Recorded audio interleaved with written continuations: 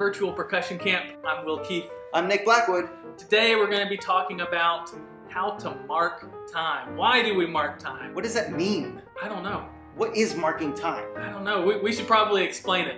Let's do that. Okay. So marking time is all about the feet.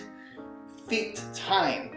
When we are not moving around on the field, we can mark time in our spot. So it's pretty simple. We start in our attention position. If you do not know what your attention position is, check out our video about body positions. And we're going to start with our left foot. We're mirrored right now with you, so this is our left foot. So our left foot is going to be on count one. So let's give a little count off here. I'll just count to four, and then we will take one mark time step.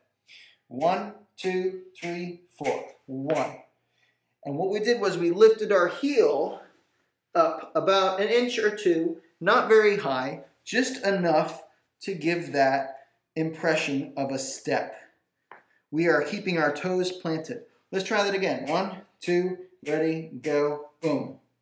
One, two, ready, go, one. And on the beat is when we hit the ground with our heel.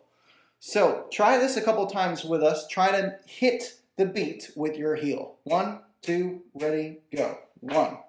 One, two, ready, go. One. Let's try two steps.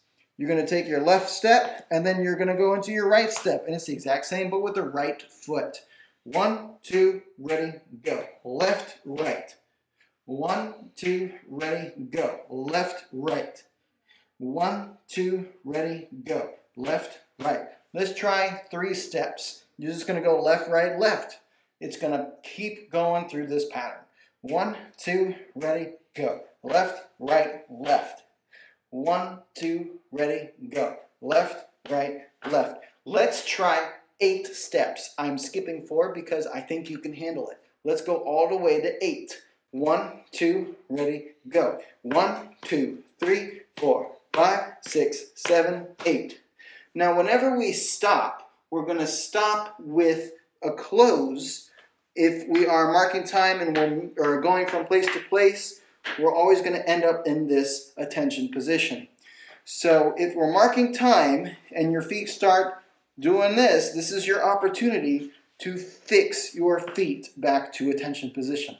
So on our ninth step, which is a left foot, left foot, we're to do our final step. So let's try it. We're to go to eight, then we're to hit nine, and we're to freeze on that nine. One, two, ready, go. One, two, three, four, five, six, seven, eight, nine. We can also say close. Try saying it with us this time. We're to say close on the ninth step. One, two, ready, go. One, two, three, four, five, six, seven, eight, close. One more time. One, two, ready, go. One, two, three, four, five, six, seven, eight, close. Nice job. So that's basically how to mark time. We're going to mark time whenever we're doing exercises.